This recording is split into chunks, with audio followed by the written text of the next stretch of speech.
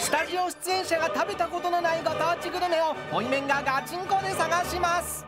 岡山県岡山市にやってまいりました。岡山といえばですねまあ桃だったりだとかきびだんごだったりだとかまあ有名ですよね。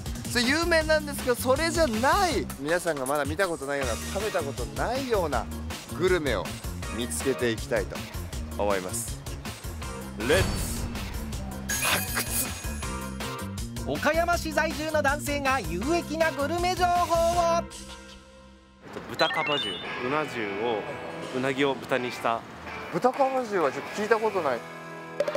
ここ数年で知られるようになったという岡山の新名物豚かば重発祥のお店か黒総本店さんへ豚かば重って一体どういうものなんですかね？うなぎが今こうどんどん高くなってきてるじゃないですか、でもうちょっと安価でそういう雰囲気なものが提供できないかというところでたまたまあった豚肉をうなぎと同じ焼き方で焼いてみたところ美味しい商品ができたんで,、えで商品化して販売するはい。が豚かば重です。あすごい。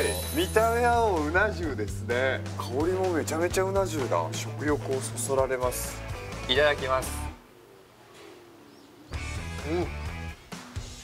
うん。うまい。めちゃめちゃ柔らかいですね。蒲焼きのタレうなぎのタレめちゃめちゃ合う。うなぎよりかは若干のこうパンチ力とボリューム感があるのでがっつりいきたいなっていう方はこっちの方が全然好きなのかなってスタジオにこのお三方がいらっしゃいまして食べたことなさそうだなみたいな人大久保さんですかね。大久保さんは豚かばは食べてないんじゃないかなと、岡山市の豚かば重。大久保さん食べたことありますか？